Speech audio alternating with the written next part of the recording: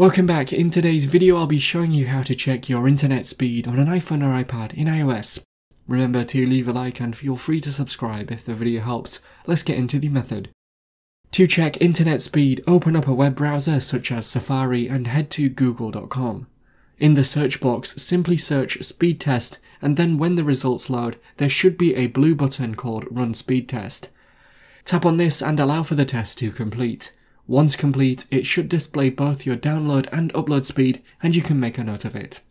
And so that is how to check internet speed on an iPhone or iPad in iOS. Click the card on screen now to watch a video of mine showing you 10 easy ways to speed up your iPhone or iPad. If you have any questions then let me know in the comments below and if you did find today's video helpful, remember to leave a like and feel free to subscribe for more tips in the future. Be sure to stick around to see some of my other videos that you might be interested in. Thanks so much for watching and I will see you in another video.